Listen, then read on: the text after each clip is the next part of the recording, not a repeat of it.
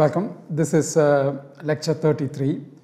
In this, we give a proof of Noether normalization lemma, uh, which is the following. Let so this is uh, um, let's recall uh, what uh, Noether normalization lemma was. So theorem.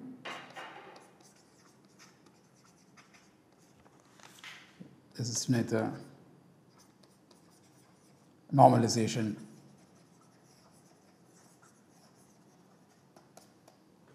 lemma. Okay. It says that if R is a finitely generated K algebra, K field, then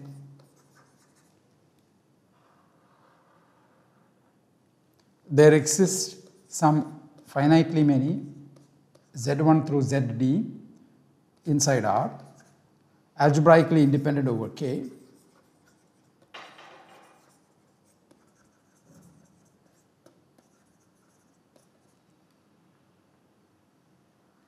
such that uh, R is finite over is a finite algebra.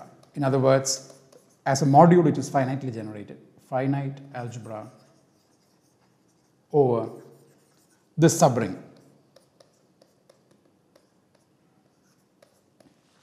which itself uh, is a uh, polynomial ring because it's algebraically dependent. Okay? So we saw a proof of this uh, last time for algebraically closed fields, uh, for infinite fields, where we did uh, change of coordinates and the change of coordinates ensured that uh, some, some element in a, some relation among the generators of R can be written uh, in, a, in a monic polynomial form. Okay. And once it can be, once a relation among the generators can be written using a monic polynomial, it says that one of the generators is integrally dependent on the other, and hence the morphism is flat, uh, is finite, and then using that uh, we can do, uh, we can bring the number of generators down. So that was what we did last time. So here also the idea is the same, but the proof is a little bit more involved.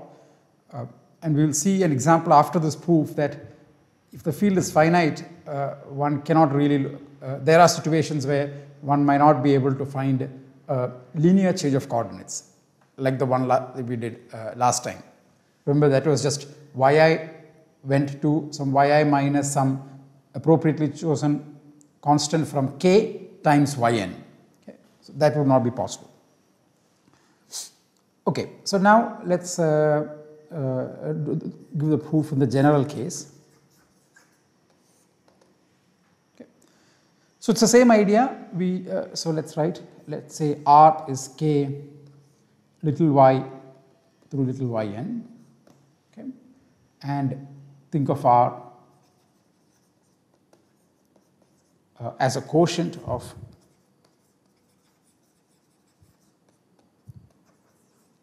of uh, the polynomial ring in that many variables y1 through yn. Okay. And uh, if uh, uh, this is an isomorphism, if the kernel is 0 then there is nothing to prove. So all of this is the same approaches from the last time. If the kernel is 0, okay, then there is nothing to prove because then then uh, this itself is a polynomial ring and it is finite over itself. Okay, so that's nothing to prove. So then therefore assume that therefore assume that there exists some polynomial f in the variables y1 through yn in the kernel, non-zero polynomial.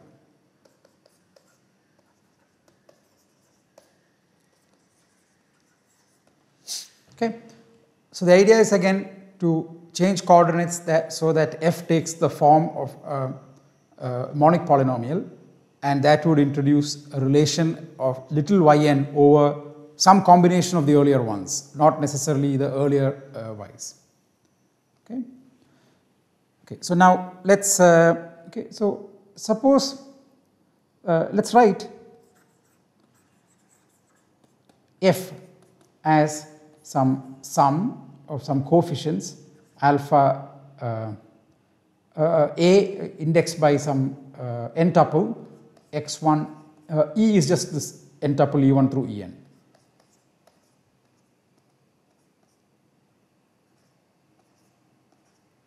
Uh, sorry, Y1 through Yn. Uh, these are the variables. Okay, uh, f is of this form. Okay, so uh, yeah. So now we do uh, we would like to do a change of coordinates so that this polynomial will take the form of a monic polynomial with uh, with coefficients coming from uh, I mean monic polynomial and the um, coefficients of lower powers of yn may come from the earlier variables. Those variables okay, will will change uh, them a little bit. So, the change of coordinates that we will try to attempt is change of coordinates.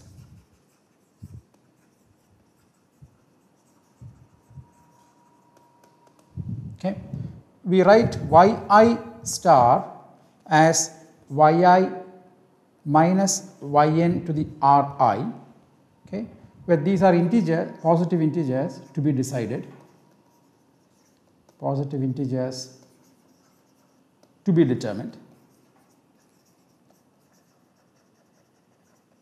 And we will see, uh, uh, we will see what we have to determine. Okay. Uh, okay. So, then a monomial of the form y1 to the e, e1, y2 to the e2 up to yn to the en okay, under this change of coordinates, this is the same as y1 star plus yn to the r1 to the e1 and so on. So, there is a change up to this point yn minus 1 star plus yn to the r uh, r n minus 1 to the en minus 1 and then uh, so one more term y n to the en. Okay. So, this is uh, this is the expression that we get. Okay. So, this is this will have a term. So, just this monomial itself will have a term which looks like yn to the EIRI plus. So, this for this monomial this term here would be uh, this monomial will get converted into some polynomial where this coefficient here is 1 and then uh, some lower degree terms lower degree terms in yn coefficients from the other variables y1 star through yn minus 1 star. Okay. Here the coefficient is from k and it is 1. Okay. So, this uh, looks like this. Okay. So, now suppose, so recall that f was some, some coefficient times this one. Okay. and uh, we can assume that AIs are non-zero otherwise they will not appear in the sum anyway. Okay. So, we would like to give these choose these RIs so that each of these monomials will give a term and the this monom this uh, monic term that we get here with unit coefficient are distinct so that they will never cancel each other and therefore f will get transformed to a, a monic polynomial. Okay. So, this is just to ensure that whatever f gets uh, transformed to has a, a leading, uh, uh, if you write it as a polynomial in yn, the leading coefficient is, uh, is a unit. Okay. So, we want to choose Ri. So, one way to, uh, so we want to ensure that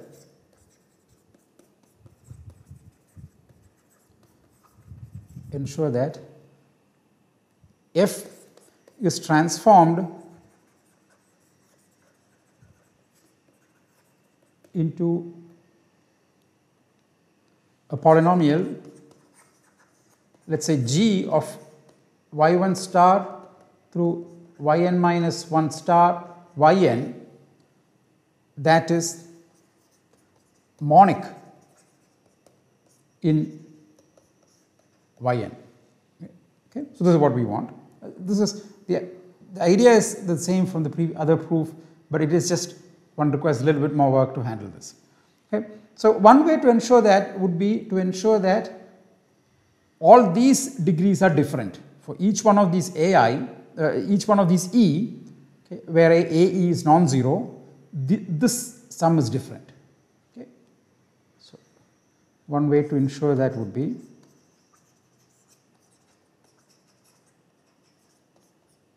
ensure that would be to choose Ri Ri such that the sum this collection is distinct I mean uh, consists of distinct elements.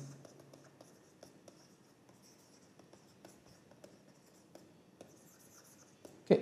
For all I mean this collection is I mean this is collected over all E such that uh, A is is non-zero. Maybe uh, sorry I'll just rewrite this set in a okay. So this collection of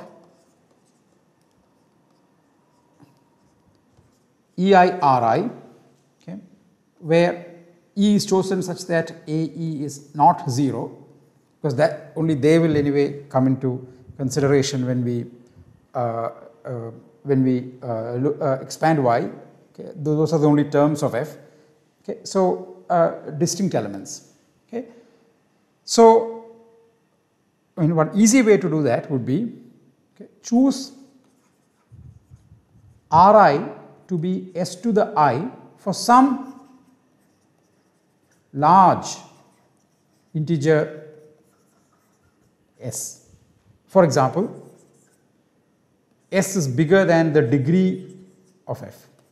Remember the degree of f is the maximum of sum of EI such that A E is 0, it's non-zero. So, these are the actual terms appearing in it and in that the degree is the largest uh, uh, largest term that we would we would get uh, the sum is the largest. so, if you choose an S large enough then each one of these EI will be strictly less than S. And then uh, if you take something of the form uh, let us say some b1 s plus b2 s squared up to some bn sn, uh, this term will be uh, for various values, uh, I mean, every integer uh, which will come as in that form, if the this, this is different from with this property, this will be different from um, some other b prime 1 s plus b prime 2 s square and so on. Okay. So, this such similar term. So, the various uh, these sums will be distinct elements and hence in this sum when we expand out uh, expand out this sum precisely one of those terms will will dominate and it's why uh, um, uh I think uh, yeah sorry just one I said Ri uh, Ni Rn by definition is, so here, sorry, I should. So, sorry, just one clarification here. Uh, so, this is sum is over 1 through n and Rn is 1.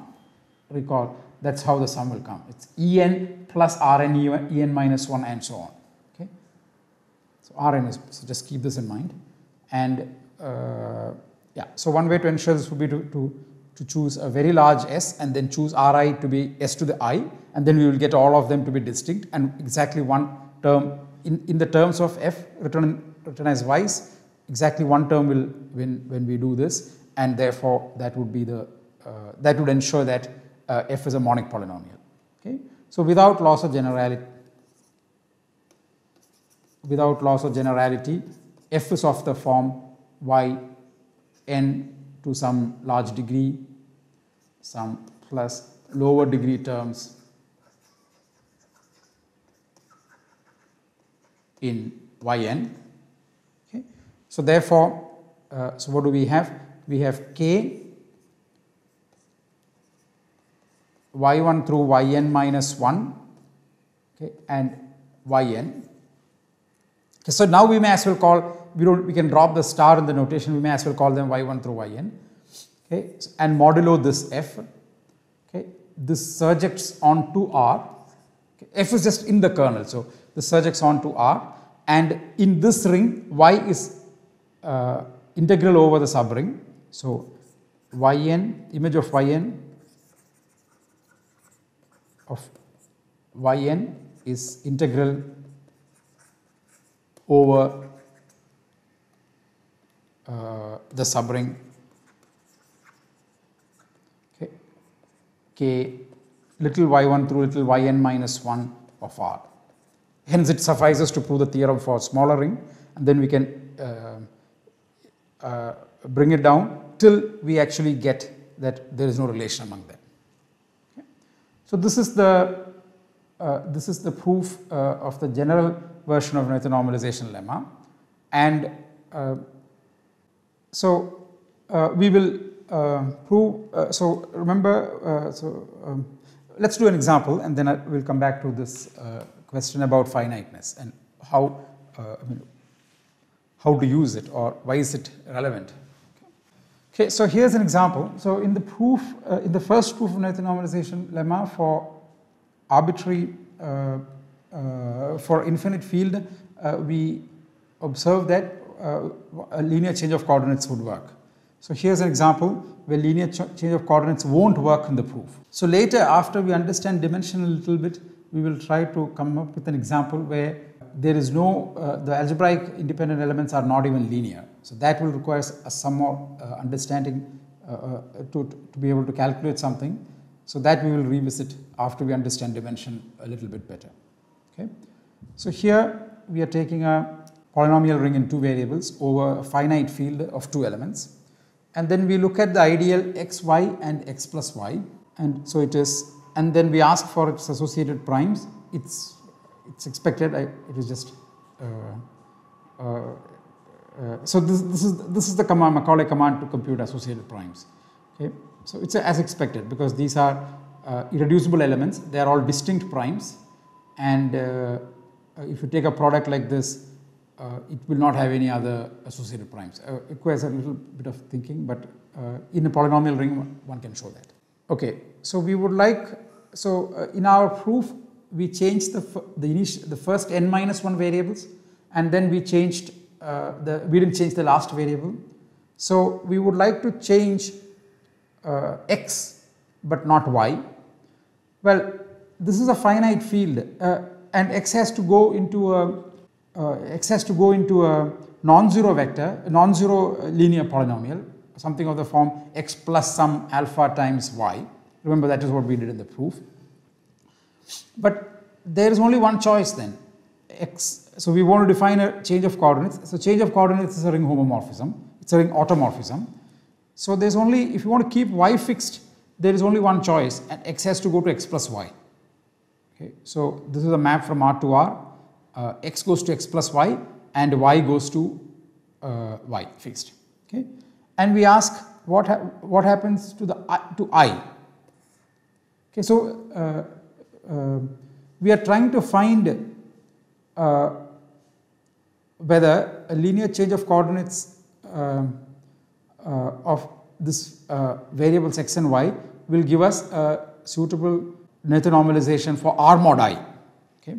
So, if you do that here, then uh, we see that i, I does not change, i is this is same as that, right, x square y plus x y square. Yeah, but in the proof, if you remember, the kernel needed to have something monic in y after the change of coordinates or the change of coordinates is, is, is, is effected so that we get a monic uh, polynomial in y. But here there is only one change of coordinates that is possible and that yields the same f and there is not going to be any monic polynomial in this ideal, monic in y in this ideal. And so then uh, we can't do anything. Okay? So this is uh, an example of uh, a case where over a finite field we are uh, unable to find a linear change of coordinates which uh, introduces uh, or which gives us a monic polynomial in the kernel of that surjective ring map. Okay, so the surjective ring map again what I mean is R surjects onto R mod I.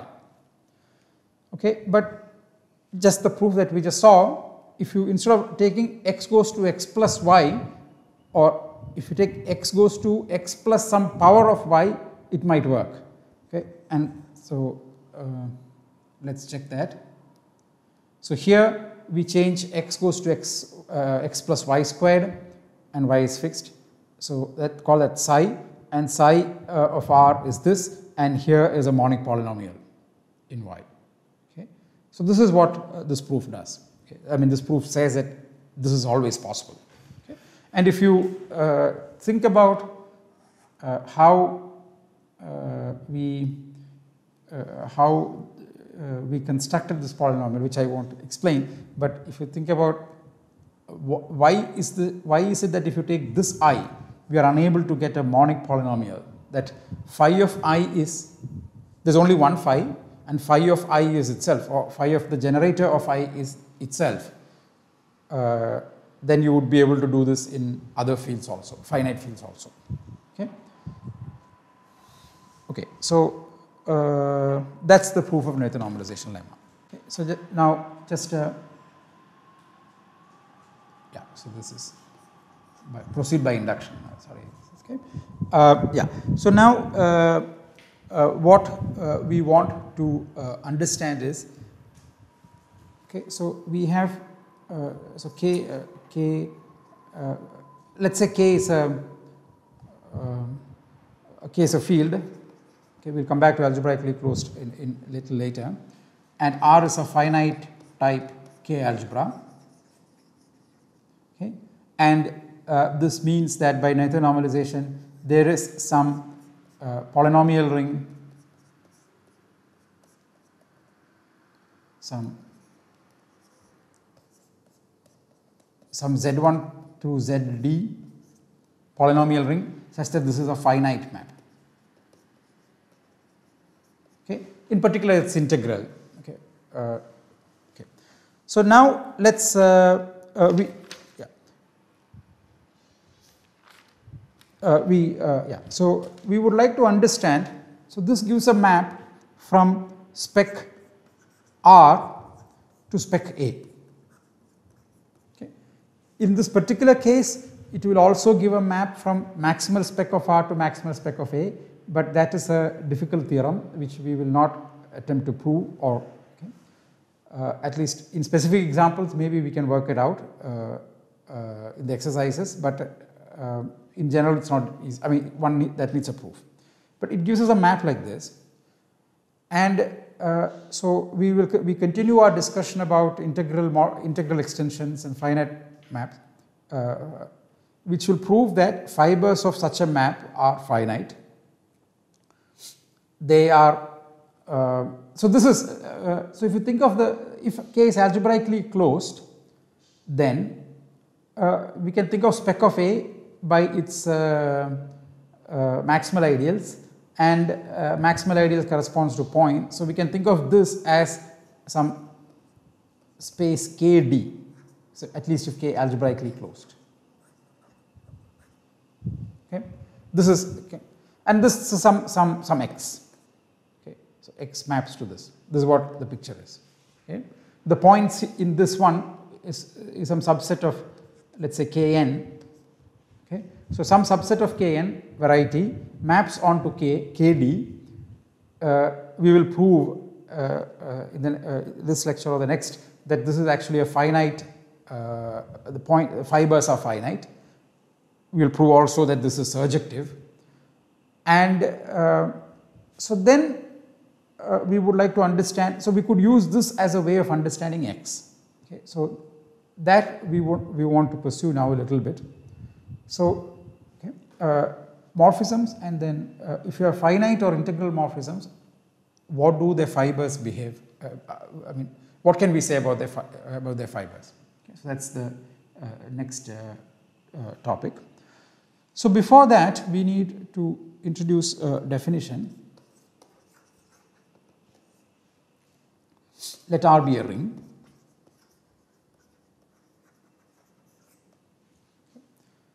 the Krull dimension named after Krull uh, dimension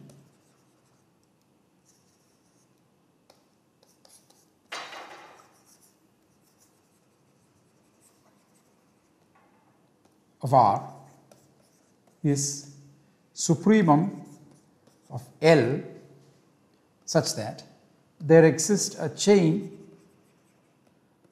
P0 inside P1 inside PL of prime ideals in R. So this, this is uh, uh, this is what a Krull dimension is. Okay. So let's look at a couple of examples. Okay. So one of the things that we will study is the how dimension behaves under uh, integral extensions. Okay.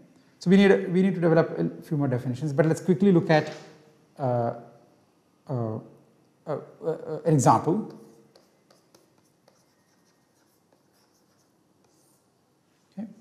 dimension of a field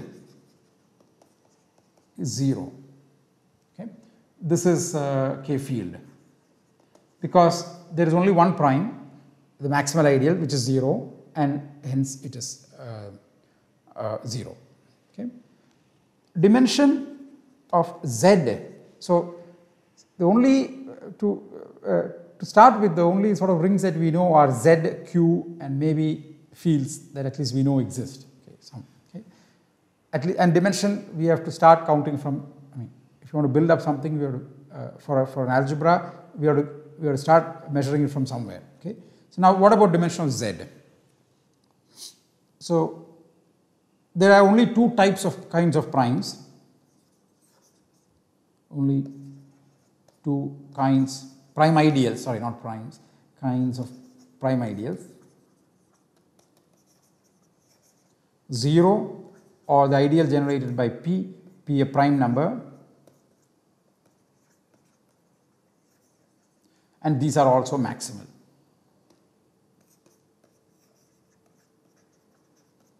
Maximal ideals are exactly this and hence therefore dimension of z is 1. Uh, so a Krull dimension is just written dimension and now there will be a little confusion uh, often we will, uh, uh, we will have to look at K algebras and we will use the word dimension to mean its vector space dimension or Krull dimension.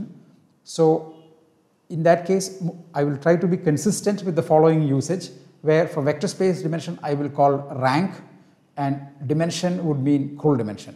Okay. In any case, if there is a confusion, I will clarify. Okay. So dimension z is 1. So which means, I mean, this is a, always a, a chain and you cannot do anything better. I mean, you cannot insert more elements here or here or in the middle. Okay. So, you cannot uh, extend it any further. Okay. So, similarly, dimension of R equals 1 for every PID. Same argument, uh, maximal ideals are generated by irreducibles and the only prime ideals are either maximal or the 0. So, any chain will look like this. Okay, so, this is one, uh, one, uh, uh, one definition, I mean one, one example. And another, so just a half example, the other half is what we, are we will struggle quite a bit to prove. So, we will, uh, if K is a field,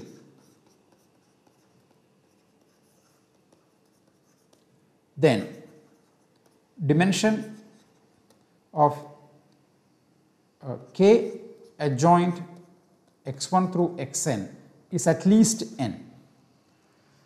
Okay. The reason is the following uh, that 0 properly inside x1 properly inside x1 x2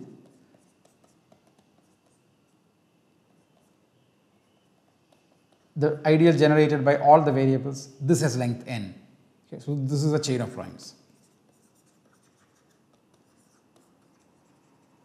Okay, and there is no immediate way that one can insert things in between or extend anything to that. This is already a maximal ideal, so you cannot add anything here. You can add you cannot add anything to the left. This is already zero. and uh, these have, uh, uh, so these are not, uh, I mean in between this there is no, one cannot insert anything. But uh, remember the uh, definition is of dimension is supremum of such chains. So we will work a little bit to prove that dimension of this is equal to n but that requires some work that there is no some other chain of primes that will go into some other maximal ideal with greater length. Okay. And uh, uh, so one of the uh, uh I mean, there is some some some difficulty. Uh, I mean, we will face some difficulty um, in proving it, partly because we don't actually know the the structure of spec we don't yet know the structure of spectrum of this ring. Okay? So that's the. So uh, this is the end of this lecture.